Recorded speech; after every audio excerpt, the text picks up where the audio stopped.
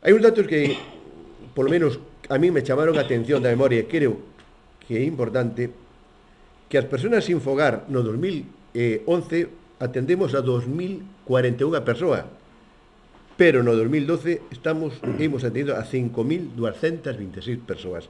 Hubo un crecemento de un ano do 156% realmente eu non sei se eu, eu comentei algunha vez en, con Santiago, eu son de Vila García Cada vez nas rúas vemos máis transiuntes, cada vez nas rúas vemos máis xente que durme na rúa.